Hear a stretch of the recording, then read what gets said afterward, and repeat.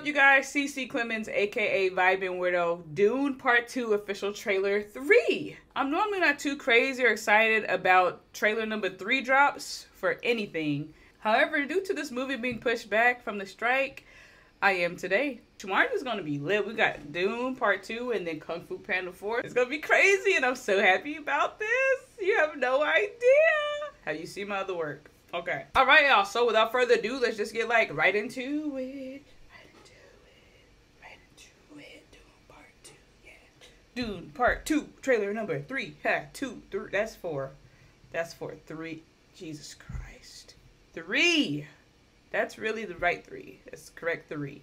This is actually six. Yeah. I'm gonna stop. I'm gonna shut up. Let's go. it's a great day to be a movie lover, isn't it? yeah. Shame. All right, let's do it, bro. That's a good stance. I'm here. Good job, I'm Tim, for that here. stance. It's been a while since you've had one of those nightmares. Tell me, what was it about? It's only fragments. Nothing's clear. You've been fighting the Harkonnens for decades. Look! My family's been fighting them for centuries. Your blood comes from dukes and great houses. Here, we're equal.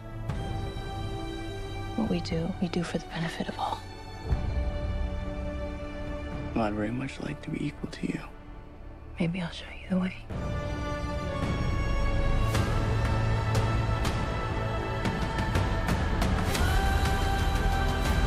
deal with this prophet. Music is beautiful. Send to Sussex. Feyd-Rautha. He's psychotic. That I'm most excited to see. SF. I see possible futures all at once.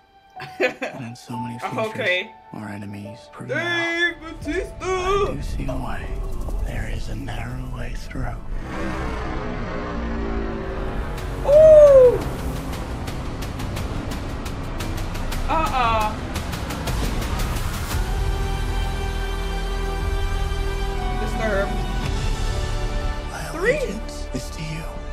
Believe me?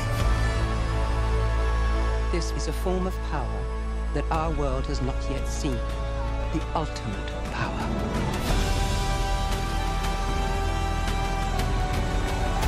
I want you to know I will love you as long as I breathe. You will never lose me as long as you stay who you are. Consider what you're about to do, Paul Atreides. Silence! Oh.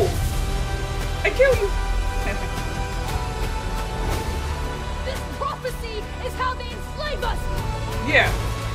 Tell him.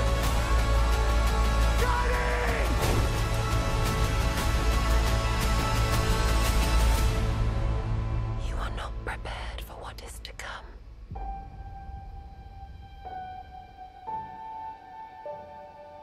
Oh yeah. Oh yeah. Film for IMAX. Okay.